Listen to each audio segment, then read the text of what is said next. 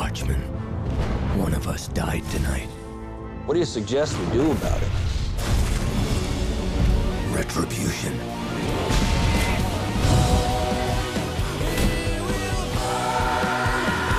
The world will look up and shout, Save us. And I'll whisper, No.